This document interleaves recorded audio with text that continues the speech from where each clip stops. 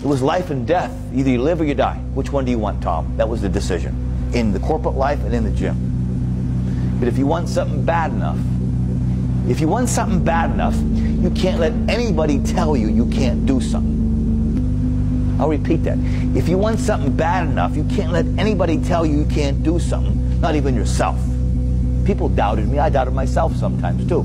To do anything successfully in life, you've got to want it as bad as you want to breathe. We're running at 40%, most of us, you know, because we're half in and half out.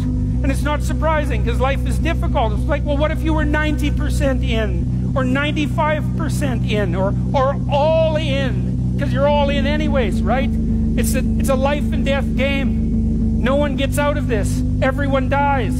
You might as well commit yourself. And you might as well commit yourself to the highest good that you can attain because why not? It'll imbue your life with meaning. It's hard, the responsibility is there, but all the meaning's in the responsibility. And when you get to the point where all you want to do is be successful as bad as you want to breathe, then you'll be successful. And I'm here to tell you, number one, that most of you say you want to be successful, but you don't want it bad. You just kind of want it. You don't want it badder than you want to party. You don't want it as much as you want to be cool. You, most of you don't want success as much as you want to sleep. If you're going to be successful, you've got to be willing to give up sleep.